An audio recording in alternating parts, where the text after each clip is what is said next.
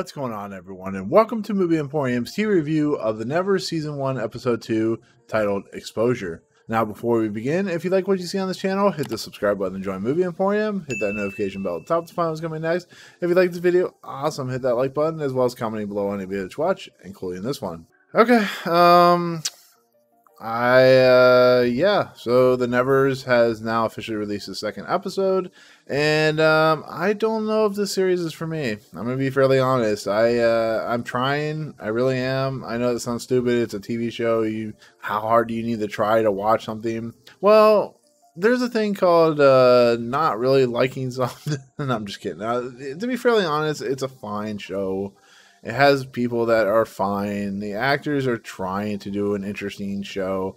But when it comes to metahumans, when it comes to people with abilities, when it comes to, you know, Victorian London and having steampunk and having, you know, individuals that have, you know, cool aesthetics and stuff like that, this show just doesn't have any appeal. It doesn't have its own identity. I guess you could say it feels like it's borrowing from so many other places. And I, I don't know. I just, after two episodes, you think you would be able to just be on the show, be excited for watching it. And I just, I don't find anything exciting at all. I don't find this world exciting. I don't find the characters exciting to be fairly honest, after two episodes, I'm completely bored and don't even want to watch the next two episodes, which I have screeners for.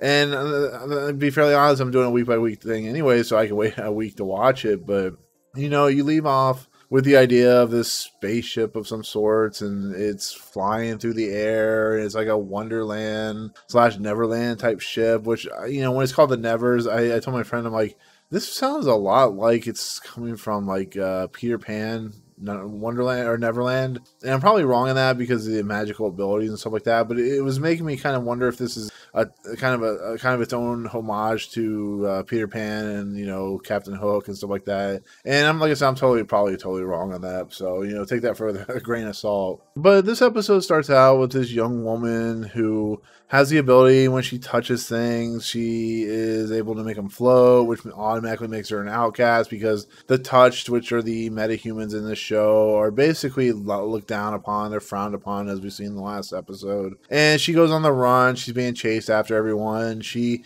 is trying to find out where the, the refuge place, where the touches are at, the orphanage, and she ends up getting captured. This is near the end of the episode, but she ends up getting captured by that evil, sadistic doctor. And so we have you know, the Olivia Williams character who is in a wheelchair and she, you know, seems like a good person. She seems like she's looking out for the touch, but we realize that the doctor who does a lobotomy on that poor young woman, she ends up being like a slave to this you know underground group of individuals who are being used to like take coal away and stuff like that and we find out olivia williams character is basically an evil person with the doctor and they found this object of some sort, which I have no idea what it is. And apparently they want to keep it a secret, which is how these shows work. And, you know, it's. It's already shown its hand. I mean, I know it's only six episodes, but it's already shown its hand on being totally unoriginal and not very unique. And it doesn't matter if it's set in Victorian London or it has metahumans. It's just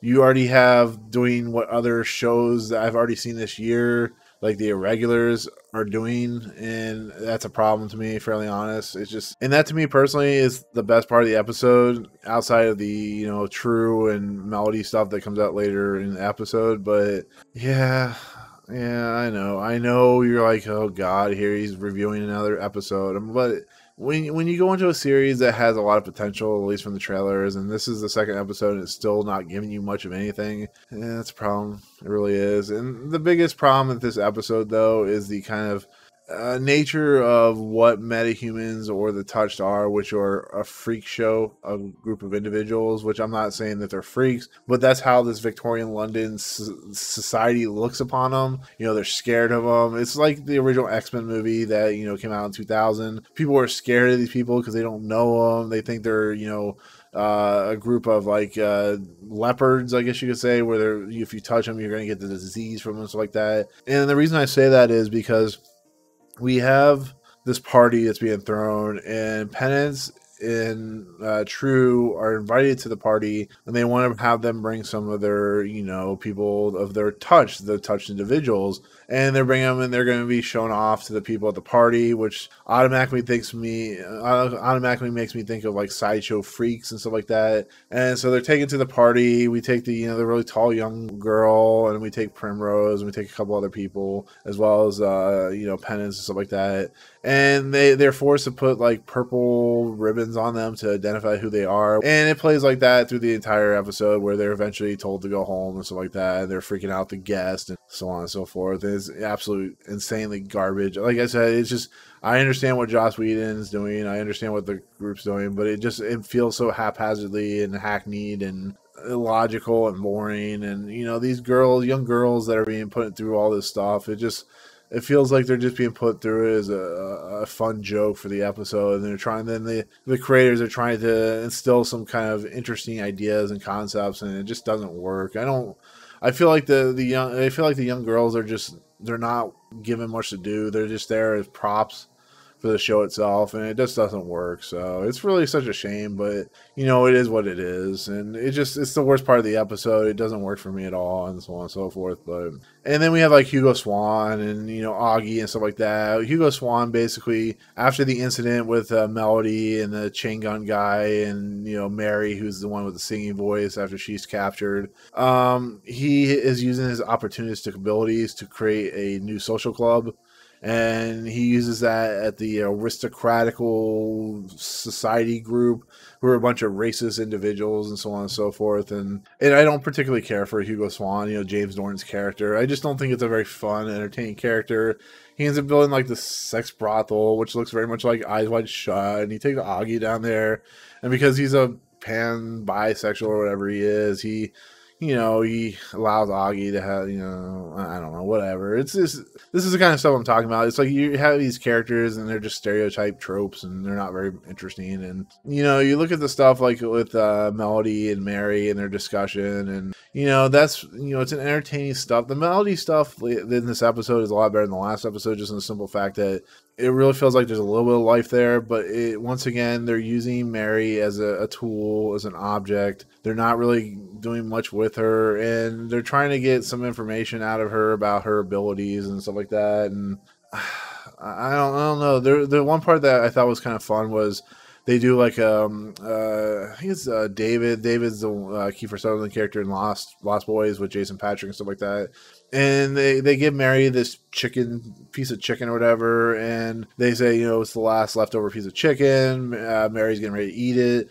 and it turns out to be a, a, dead rat, which is very you know reminiscent of like what David did with Jason Patric's character with the whole worms and stuff like that. And I thought that was clever. I thought the woman who cut off her toes and stuff like that is disgusting, but it was like you know it's fun and you know melodies. You know the the woman who's playing melody is entertaining and stuff like that. So I gotta give that a little bit of credit. And then it leads into like the other section of this episode where we have Frank Mundi and of course True, and they're having they're kind of. uh uh, detective quest situation where they're trying to find Mary and you know the house that the the uh, touch live in is being kind of uh, ransacked from the police, so the Warrens and stuff like that. And in essence, the uh, it, it goes down to a detective mystery. It goes down to because of the abilities that true has, she's able to find the kind of layer which is very steampunkish in its own right. And she goes down there. She sees Melody. She says, you know, give this to Frank Mundi, to the woman that she has been talking through the episode to come find her and stuff like that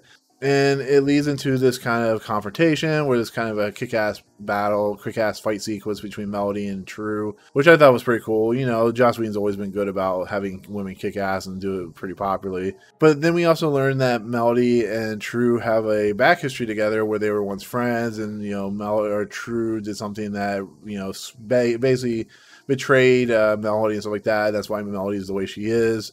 And then Melody does a whole Saw, you know, the Saw horror series type trap where she has, of course, Penance in one corner tied with a noose around her neck, and she has Mary on the other side in the, the rafters tied with a noose around her neck. And she gives the option you can kill Mary, you can kill Penance. Either one, whoever you kill, the other one will be saved. You kill me, which is malady. nobody else will be saved. You have a choice so what does True do? She shoots herself, makes uh, of course, Melody mad. Melody goes over and tries to figure out what happened. True shoots Melody, and that's when the police show up, and both Mary and Penance are saved. And Melody escapes like she did the last time, and that's the end of that portion of the episode. Mary and Mundi, who have a, relationship together, you know, they have some kind of history together as well. They kind of have their, you know, um, their moment together in the sun, and that's the end of the episode. That leads into whatever's going to happen next there's no Nick Frost in this episode, and um, overall, I just thought the episode was fine. That's like a real quick, real fast paced, you know, review of the episode. But you know, the episode just in general, and I'm not, I'm not gonna keep this review very long, but this episode in general is just, it feels so haphazard. It feels so hackneyed. It feels just so bland and boring. It feels like there's no life to any of these characters. There's no there's no pizzazz, there's no oomph to any of the story. And like I said, when the biggest part of your story is just a Saw style moment, or when your biggest part of your series is or episode is you have characters that are being shown as freaks and kind of you know these people that don't nobody cares about I've seen it before and I've seen it done better, and that's your biggest problem. And it just it's boring and not very exciting, and just makes me not want to care about the series at all. I hope the third episode is much much better, but I don't have much hope right now. You know, two episodes in of a six six episode season, and you're still not giving me much of anything. I have a problem. And the, the movie, the show is really ugly to look at, and you know the character. Like I said the characters are just bland and boring, and the most fun character I said is Melody, but even her is just yeah, whatever. I'm just not. I mean, I don't know like I said, I'll, I'll, finish the season. I'll do my reviews, but as right now, I'm just not on board. So it is what it is. But um, this episode is probably a little worse than the last episode. So six and a half out of ten, very very mediocre. Uh, I think I gave the last episode seven and a half out of ten or something like that. So uh, not looking good. I hope the episode, the next episode, is not like a five out of half out of ten. The last episode of the season is like a one. That'd be really bad, but but yeah, that'll do it. That'll be my take on the Nevers season one, episode two, which is titled Exposure. Uh, let me know in the comments below what you thought of the episode. I know people do like this season, and I know people do like the show. Definitely understand if you like it, but tell me what you like or don't like about the episode itself. Otherwise, hit the subscribe button to join Movie Emporium. Hit that notification bell top to find what's coming next. If you like this video, awesome. Hit that like button. And as always, we'll see you guys on the next episode. Peace out.